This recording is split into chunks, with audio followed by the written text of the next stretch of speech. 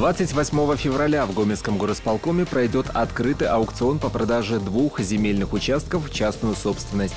Один из них находится в районе индивидуальной жилой застройки «Хутор». Он расположен на улице Сиреневой. Целевое назначение – строительство и обслуживание одноквартирного жилого дома. Начальная цена – чуть более 21 тысячи рублей. Сумма задатка – 400 рублей. А в районе индивидуальной жилой застройки «Химы» на улице Евдокима Романова предлагается участок с начальной стоимостью свыше 13 тысяч рублей.